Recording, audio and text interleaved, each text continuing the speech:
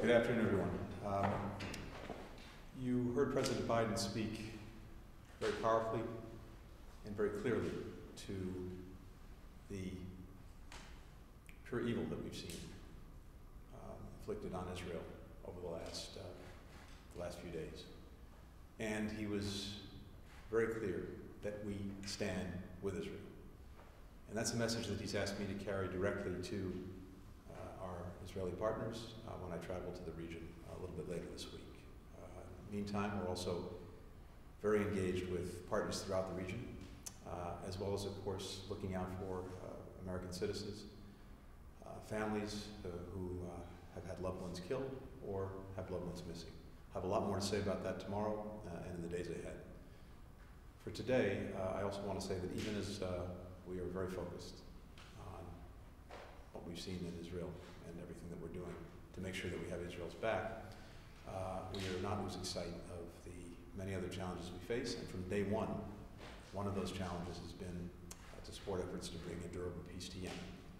Uh, in that effort, what we've seen over the last 18 or so months is a truce that um, has materially improved the lives uh, of Yemenis, as imperfect as it's been.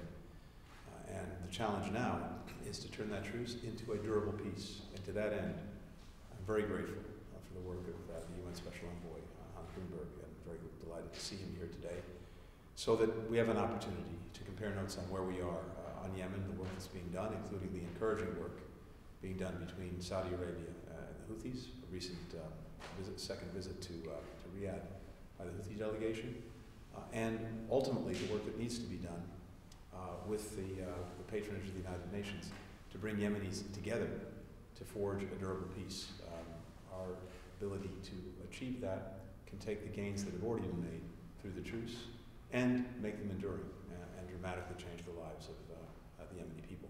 That's what we're working toward, that's what we're working on. Uh, with that, let me say it's a pleasure us to have you here today. Thank you very much, uh, Secretary, and, and equally, I'm, I'm very happy. Good afternoon, everyone. I'm happy to be here today to meet with Secretary Blinken and also to, uh, to engage in, in, important discussions about where we stand on Yemen and make sure that we, we take the necessary step forward uh, at this particular moment. I'm very much looking forward to a constructive meeting uh, that is in support of the United Nations peace mediation efforts. And I, I think, exactly as you mentioned, Secretary, it's important that we all remind ourselves that we've made considerable progress these last couple of years uh, on the Yemeni uh, file, and uh, very much thanks to the collective effort of the international community.